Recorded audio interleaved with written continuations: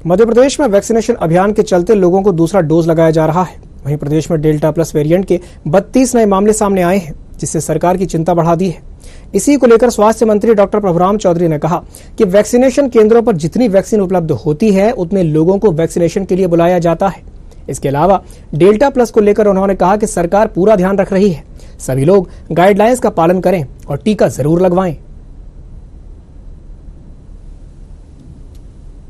नहीं, सारा सरकार पूरा ध्यान रख रही है। कोविड अप्रोप्रिएट बिहेवियर सब लोग पालन करें, टीका सब लोग लगाएँ, जिनकी बारी आ रही है और सरकार पूरा नज़र रखे हुए है। मुख्यमंत्री जी समीक्षा कर रहे हैं।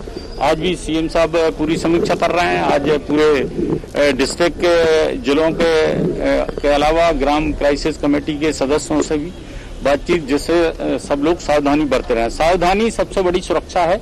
इसलिए सब लोगों को इसको पालन करना।